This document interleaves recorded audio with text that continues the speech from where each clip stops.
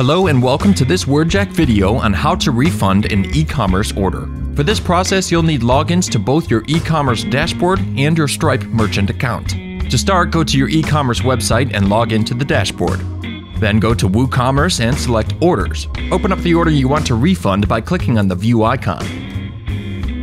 You'll have the option to change this status to Refunded later.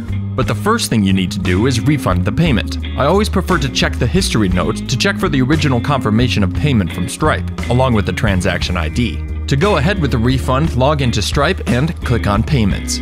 There you will find a record for when the original payment was made into your account.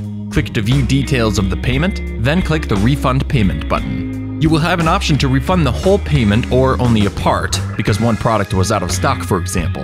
In this case, we're going to refund the whole payment. As you can see, Stripe warns that refunds can take 5 to 10 days to appear on the customer's statement. Now for the second step. Return to the WooCommerce dashboard and update the status of the order to be refunded. The third and final step is important because it informs your customer that you have issued the refund. Scroll down to the notes section of the order and add a note to your customer informing them that the refund has occurred, and that it may take 5 to 10 days to hit their account.